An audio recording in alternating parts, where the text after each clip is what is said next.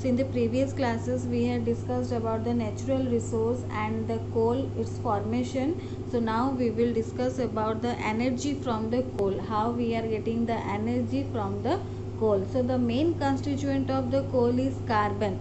So I had told you in the previous class carbon constituents are uh, coal constituents are carbon hydrogen with small amounts of nitrogen and sulfur but the main constituents of coal is carbon. Its main constituent is carbon. So there are varieties of coal depending upon the percentage of carbon in them so coal burns in air to give energy. So its main constituent is carbon. Carbon reacts with oxygen. Carbon burns in oxygen or reacts with oxygen to give uh, carbon dioxide and heat. So coal burns in air to give energy. We can say that coal burns in air to give energy and coal is not only burned to produce energy it is also used to obtain more useful products by the destructive distillation of coal or that means when the coal is heated strongly in a closed container in the absence of air we can get many useful products. So destructive distillation of coal means coal is heated strongly in a closed container in the absence of air and that process is called destructive distillation.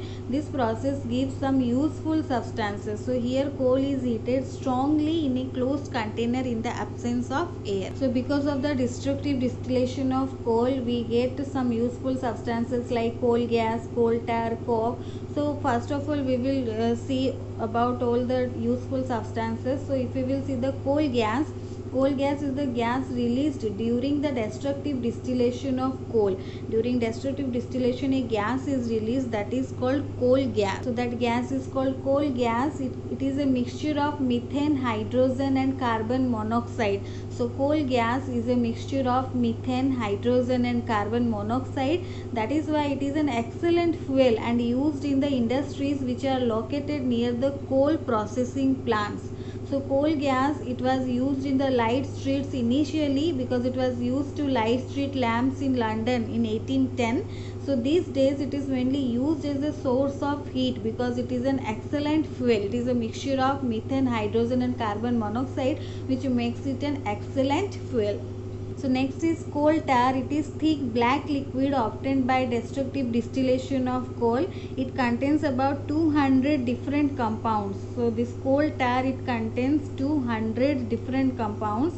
So these compounds are separated chemically and are used to make some important substance like drugs, paints, dyes, plastic, roofing materials, naphthalene balls so these uh, we can say that even coal tar is used in the manufacture of drugs paints dyes plastics roofing materials and naphthalene balls. Naphthalene balls are used to protect clothes from the moths and insects. Earlier coal tar was also used to cover the roads. So these days metalling of roads uh, that is done by bitumen which is obtained from the petroleum. But earlier it was done by using the coal tar. So it contains 200 different compounds contains 200 different compounds which are separated chemically and used to make drugs dyes paints plastics naphthalene balls roofing materials etc so coke is also a very important substance which is obtained from the coal. It is the residue left behind in the destructive distillation of coal.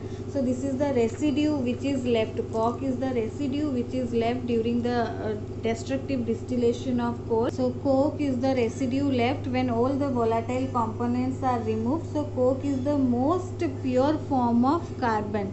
So coke is known as the most pure form of carbon which uh, it contains 98% carbon content. So it has 98% carbon content that is why it is known as the pure form of carbon. It is mainly used in the extraction of metals from their ores. It also makes an excellent fuel because it gives off more heat than coal and doesn't produce smoke.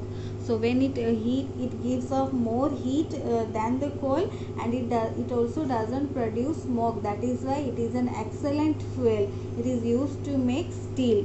So coke is used to make steel so these are the few uh, useful substance that we get during the destructive distillation of coal.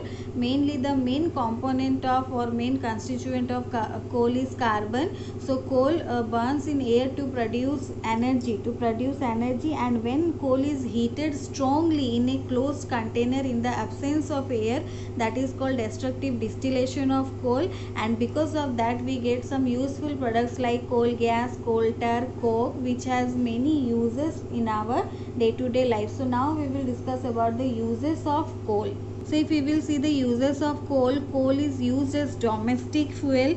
It is used as fuel for generating electricity in the thermal power plants. In the thermal power plants also the coal is used for generating electricity and it is the main source of energy in india. For generating electricity is the main source of energy in india. So coal was used to run the steam engines in the past. During past or in the past the coal was used to run the steam engines and coal is used to obtain coke and coal gas which are excellent fuels. We, i had already told you we can get the coke and coal gas by the destructive distillation of coal or by heating coal in a closed container in the absence of air. So we can get that coke and coal gas and these are excellent fuels. So this is also a kind of use of coal. So this is all about the coal. So now you have to learn uh, the useful products we are getting from the coal and the uses of coal. In the next class we will discuss about the petroleum